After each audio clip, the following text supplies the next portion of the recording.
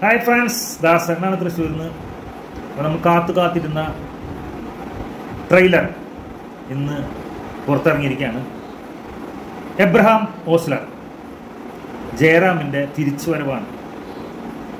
മലയാള സിനിമയിൽ ഇപ്പോൾ ഏറ്റവും ഡിമാൻഡുള്ള അല്ലെങ്കിൽ ഒരു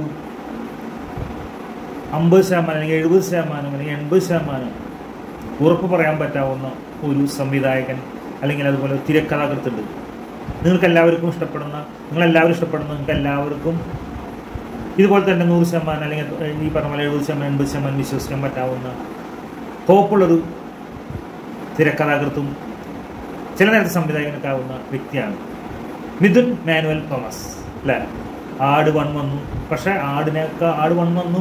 പക്ഷെ തിയേറ്ററിൽ അധികം വിജയിച്ചില്ലെങ്കിലും ആട് സെക്കൻഡ് ഗംഭീര വിജയമായിരുന്നു. പക്ഷെ ആട് വണ്ണും ധാരാളം പേര് ടി വിയിലും മറ്റും കണ്ടു. അങ്ങനെ ആട് ചരിത്രമായി. അതുപോലെ തന്നെ അഞ്ചാം പാതിര എന്ന സിനിമ. ഗംഭീര വിജയം.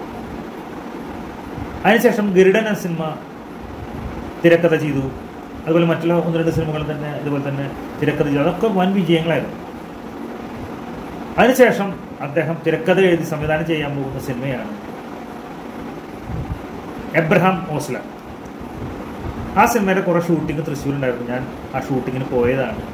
നേരിട്ട് മിഥുൻ മാനുവലിനെ കാണുകയും ഫോട്ടോ എടുക്കുകയും ഒക്കെ ചെയ്തതാണ്. മമ്മൂക്ക ഉണ്ടായിരുന്നു. മമ്മൂക്കയുടെ കൂടെ നിന്ന് ഫോട്ടോ എടുക്കാൻ ഭാഗ്യം ലഭിച്ചു. ഏഴ് ദിവസത്തോളം മമ്മൂക്ക ആ സിനിമയിൽ പങ്കെടുത്തിരുന്നു. മമ്മൂക്ക സിനിമയിൽ അത്ര ചെറുതല്ലാത്തൊരു വേഷം ഗസ്റ്റ് റോൾ എന്ന് പറഞ്ഞാലും ഏഴ് ദിവസം എന്നൊക്കെ പറയുമ്പോൾ അത്യാവശ്യം കുഴപ്പമില്ലാത്തൊരു സംഭവമാണ് ചെയ്തു വെച്ചിട്ടുള്ളത്. മനസ്സിലാക്കാൻ നമുക്ക് സാധിച്ചിട്ടുണ്ട്. പക്ഷേ ഇന്ന് അതിന്റെ ട്രെയിലർ ഇറങ്ങിയപ്പോൾ ഈ അടുത്ത കാലത്ത് ഇതുപോലത്തെ ഗംഭീര ട്രെയിലർ വന്നിട്ടില്ല എന്ന് വേണമെങ്കിൽ പറയാം.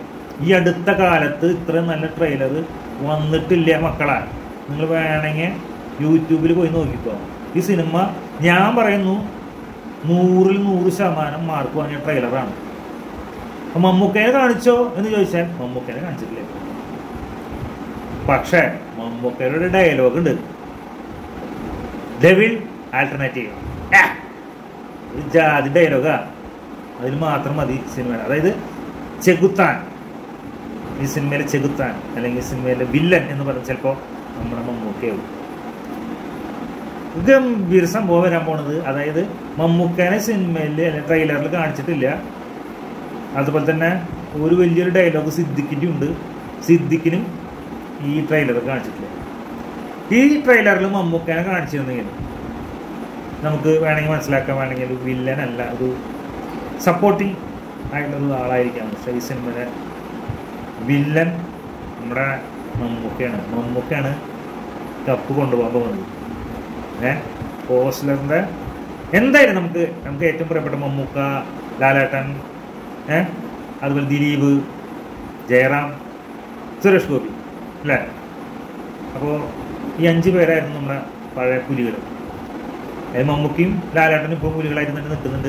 ജയറാമും ദിലീപും സുരേഷ് ഗോപി ഇങ്ങനെ ആടി ആടിയിലാണ് നിൽക്കുന്നത്.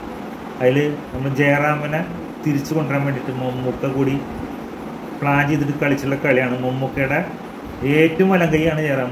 അപ്പോൾ ജയറാമിന് നല്ലൊരു തിരിച്ചുവരവ് കൊടുക്കണം. അതിന് വേണ്ടിയിട്ടാണ് മിഥുൻ മാനുവൽ തോമസും മമ്മൂക്കയും കൂടിയിട്ട് ജയറാമിന് തിരിച്ചു കൊണ്ടാണ് ഈ നൂറ് ശതമാനം നിങ്ങൾ ട്രെയിലറിന് കണ്ടോക്ക് നൂറ് ശതമാനം നൂറ് ശതമാനം വിജയിക്കുന്ന സിനിമയായിരിക്കും ഓസ്ലർ എബ്രഹാം ഓസ്ലർ ദാസേണ്ണ പറയുന്നത് കണ്ടോക്ക് നിങ്ങൾ നമ്മുടെ ചെക്കന്റെ ഒരു ഡയലോഗ് ഉണ്ട്. ചെക്കനെ കാണിക്കണില്ല?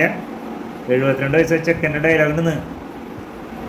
Double alternative കുരിച്ചു.